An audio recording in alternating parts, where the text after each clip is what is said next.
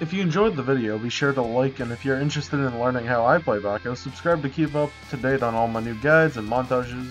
Thanks for watching.